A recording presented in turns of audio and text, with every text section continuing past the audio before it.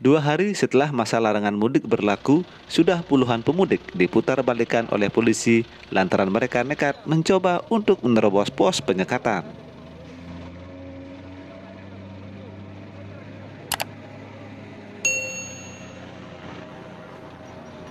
Pos penyekatan di Jembatan Timbang, Kelurahan Gilimanuk, Jemberana terlihat didominasi oleh kendaraan truk yang mengangkut logistik baik dari Jawa maupun sebaliknya pada Sabtu malam.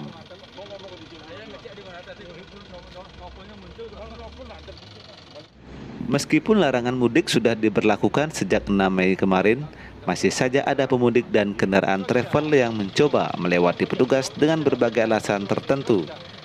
Dan niat mereka pun harus kandas dan harus putar balik.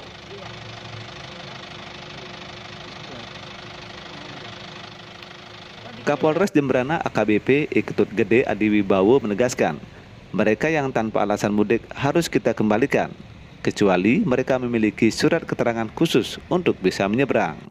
Baik, eh, pada malam hari ini eh, situasi di Pelabuhan Gilimanuk eh, dapat kita lihat bersama bahwa eh, Pelabuhan Gilimanuk baik itu masyarakat yang mau masuk ke Bali ataupun keluar ke Bali eh, saat ini didominasi oleh kendaraan logistik.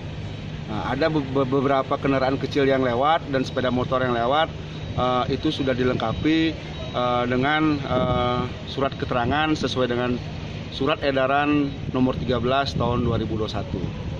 Demikian. Untuk eh, ada nggak yang dibalikkan untuk hari ini dan Uh, jadi untuk hari ini um, ada yang kita kembalikan karena mereka berusaha untuk menyeberang namun tidak membawa ketentuan yang sudah dituangkan dalam SE nomor 13 jadi uh, kita kembalikan. Jadi uh, dari mulai adanya larangan mudik uh, di Gilimanuk uh, mulai adanya penurunan uh, masyarakat yang mau menyeberang ke Pulau Jawa. Salah satu pemudik mengaku jika sudah mengetahui adanya larangan mudik, namun dia nekat mudik saat larangan sudah berlaku.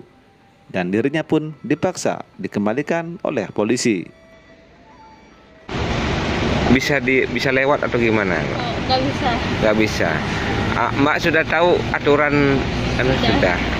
Oh, Kang gimana solusi Mbak? balik lagi Balik lagi. Iya. Dari catatan petugas, sampai hari ketiga masa pemberlakuan larangan mudik, data orang yang melakukan perjalanan dinas sebanyak 71 orang.